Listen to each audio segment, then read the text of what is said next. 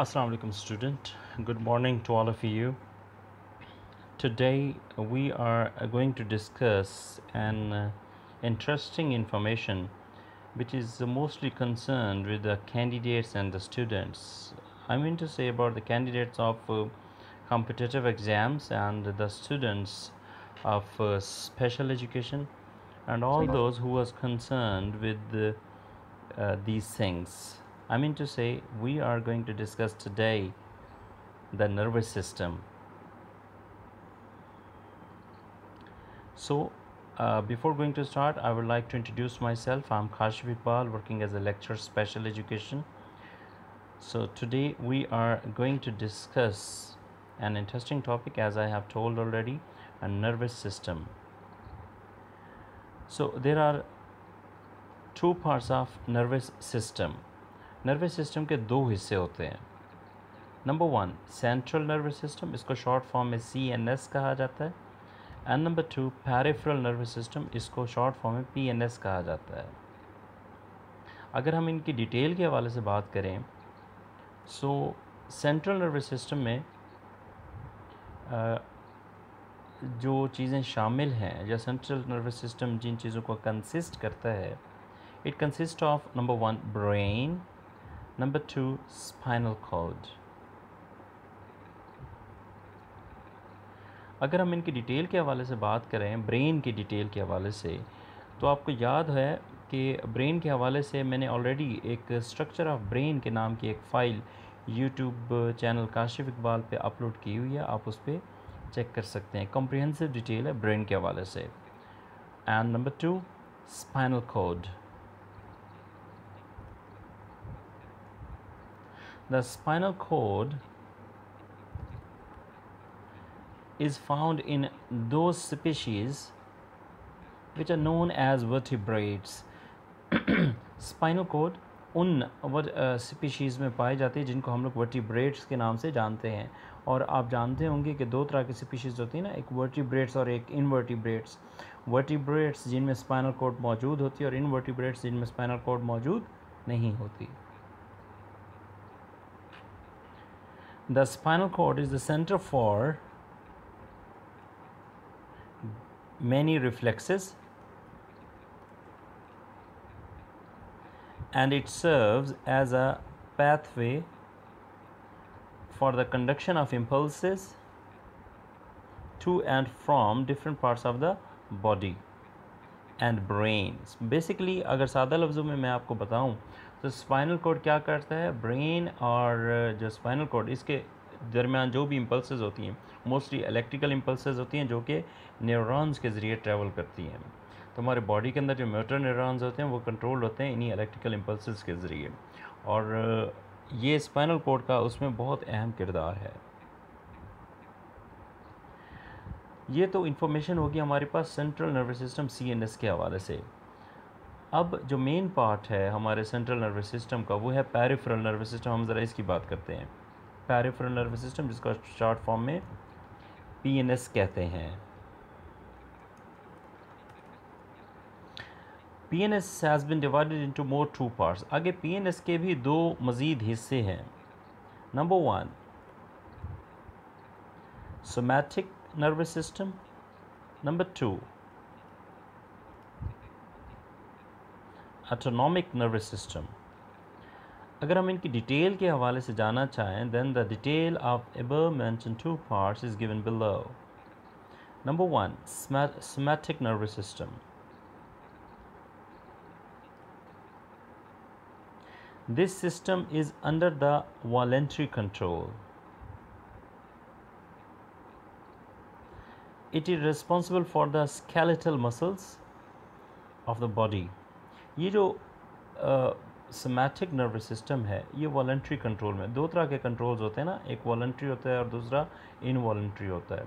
तो ये वॉल्ट्री कंट्रोल में आता है और हमारे जो स्केलेटल मसल्स हैं वो इसके आ, आ, ये उनकी एक रिस्पॉन्सिबिलिटी स्केलेटल मसल्स की समेटिक नर्वस सिस्टम पे है। नंबर टू पे आप देख सकते हैं the autonomic nervous system It is responsible for the activity which is not in the individual control यानी कि सादा लफ्ज़ों में इन इनवॉल्ट्री कंट्रोल की बात हो रही है कि ऐसा हर वो काम जो ह्यूमन बॉडी करती है और वो इंसान के अख्तियार में नहीं होता, वो ऑटोनॉमिक नर्वस सिस्टम यानी कि ऑटोमेटिकली वो काम हो रहा होता है। अब ऑटोनॉमिक नर्वस सिस्टम के भी आगे मज़ीद हिस्से हैं। There are few parts of autonomic nervous system number one sympathetic nervous system number 2 parasympathetic nervous system अगर हम इनकी डिटेल की बात करें the detail of above mentioned two points is given below आप इनकी डिटेल देख सकते हैं sympathetic nervous system it is responsible for the emergency responding in excited और स्ट्रेसफुल कंडीशन ये किस चीज़ की ज़िम्मेदारी है? इसकी एमरजेंसी में जो भी स्ट्रेसफुल या एक्साइटेड जो कंडीशन होती है, उसमें इसने रेस्पॉन्ड करना होता है। इट बिकम्स एक्टिव ये उस वक्त एक्टिव होता है when we are facing the state of emotions जब हम एक इमोशनल कैफियत से गुजर रहे होते हैं।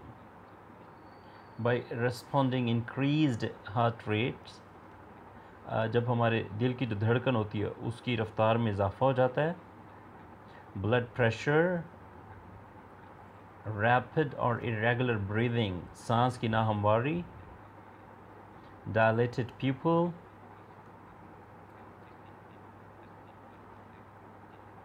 precipitation, dry mouth, increased blood sugar तो ये वो कैफियत है जो कि हमारी स्टेट ऑफ़ इमोशंस कहलाती हैं और इस कंडीशन में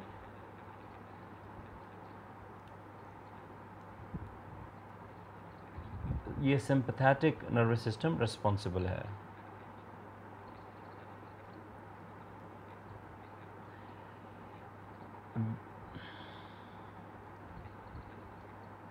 सो so, इसमें ये भी है आप ये नोट करेंगे point when a person faces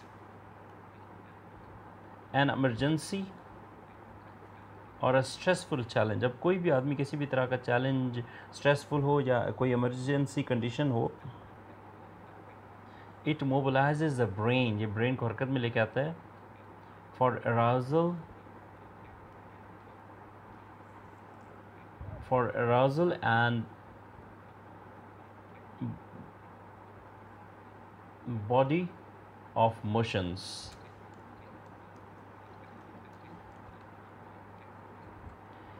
Number two पे अगर हम बात करें पैरासिम्पथेटिक नर्वस सिस्टम की it monitors and regulates the variety of functions ये मॉनिटर भी करता है और रेगुलेट भी करता है। मुख्तलिफ़ तरह के जो जो फ़ंक्शंस होते हैं उनको कौन कौन से? Including constrictness of pupil, slow heart rate, increased digestive system. So so, ये वो है जो यकीन पैरासिम्पथेटिक आप समझ के होंगे कि ये वो चीज़ें हैं जो इनवॉल्ट्री चल रही हैं जिसमें इंसान का अपना कोई कंट्रोल नहीं होता नेचरली ये चीज़ें परफॉर्मेंस में हो रही होती हैं it becomes more active when we are relaxed and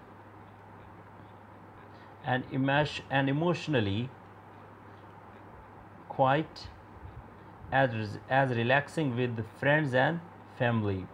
तो ये जो पैरासिम्पथेटिक नर्वस सिस्टम होता है ये उस वक्त ज़्यादा एक्टिव होता है जब हम रिलैक्स होते हैं और इमोशनली हम क्वाइट होते हैं। ख़ासकर उस वक्त जब हम फ्रेंड्स के साथ होते हैं या अपनी फैमिली के साथ होते हैं। तो पैरासिम्पथेटिक नर्वस सिस्टम उस वक्त ये जो है ना एक्टिव होता है। तो ये हमारे पास इंफॉर्मेशन थी। कंक्लूजन अगर मैं करना चाहूँ इस चीज़ का तो ज़रूर जहन में रखिएगा कि सेंट्रल नर्वस सिस्टम मेन है, जो कि हमारे ब्रेन में एक एक्टिव होता है, अपना किरदार अदा करता है। और जो पेरिफेरल नर्वस सिस्टम है, बल्कि मैं आपको अगर इनका, जो है ना, एक मज़ीद अंडरस्टैंडिंग दूँ तो हमारी चीन से ऊपर ऊपर सेंट्रल नर्वस सिस्टम है और हमारी जो चीन से नीचे नीचे होल बॉडी है, उसमें पेरिफेरल नर्वस सिस्टम है। सेंट्रल नर्वस सिस्टम और पेरिफेरल नर्वस सिस्टम के आपस में जो कम्युनिकेशन होती है, वो न्यूरॉन्स जिसको हम लोग न्यूरो कहते हैं, उनके ज़रिए होती है। और न्यूरो को अगर मज़ीद डिफ़ाइन किया जाए तो इसमें तीन तरह के न्यूरॉन्स होते हैं ना। नंबर वन पे विजुअल न्यूरॉन्स ऑडिटरी न्यूरॉन्स और मोटर न्यूरॉन्स। तो ये जो मोटर न्यूरॉन्स होते हैं, ये कम्युनिकेट करते हैं। इसकी एग्जांपल यूँ भी मैं आपको देना चाहूँगा। फॉर एग्ज़ाम्पल हमारे पाँव में एक कांटा चुभता है। तो हमारा हाथ फ़ौर ही उस कांटा चुभने वाली जगह पे जाता है और हम कांटा हटाते हैं। और उसके बाद हम नेक्स्ट टाइम ख्याल करते हैं कि दोबारा इस जगह से नहीं गुजरना या देख के चलना है। अब होता क्या है? जैसे ही कांटा चुभा तो पेरिफेरल नर्वस सिस्टम के जो न्यूरॉन्स होते हैं इलेक्ट्रिकल इम्पल्सेस वो ट्रांसफ़र करते हैं इन्फॉर्मेशन को सीधा सेंट्रल नर्वस सिस्टम को। और पूछते हैं सेंट्रल नर्वस सिस्टम में क्या करना है? सीएनएस कहता है कि भाई पाँव हटाओ, जहाँ पे कांटा चुभा है, वहाँ पे हाथ रखो, मुँह से चीखने की, ऊह, आह, आउच की आवाज़ निकालो और आइंदा इस जगह से कभी नहीं गुजरना। ये वो हिदायत होती हैं। अब कांटा चुभने से ले के इंसान के इसके रिएक्ट करने तक ये सारा काम एक सेकंड के हज़ारवें हिस्से में हो रहा था। Because of electrical impulse of neurons और इसमें मोटर न्यूरॉन ज़्यादा रिस्पॉन्सिबल है। तो ये सारा कंट्रोल कर रहा होता है सेंट्रल नर्वस सिस्टम और सेंट्रल नर्वस सिस्टम के पास इंफॉर्मेशन लेके जाता है पेरीफेरल नर्वस सिस्टम और फिर इंफॉर्मेशन लेके आता है यही पीएनएस तो ये है कम्बिनेशन सीएनएस और पीएनएस का। आई होप ये वीडियो आपको अच्छी लगी होगी I am really very sure and definitely I suggest you to kindly subscribe this YouTube channel and uh, share this with your contacts as well. And definitely like is also required. Thank you very much. Take care. Good luck